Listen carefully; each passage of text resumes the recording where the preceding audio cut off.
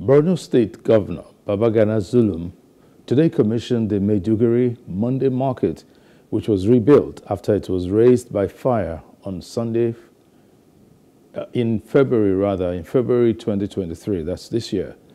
The largest market in the metropolis was shut down for rehabilitation that lasted months after it went up in flames, destroying goods worth billions of naira. Governor Zulum said reopening the market became necessary to help support the livelihoods of about 8,000 traders. The governor also flagged off the construction of 11 roads and drainages at Simari, Jere and Mafa local governments.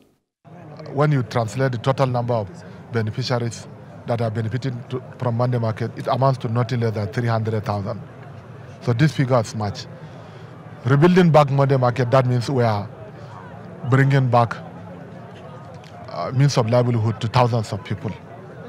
Without means of without means of livelihood, you know, we shall witness a lot of things, including insecurity.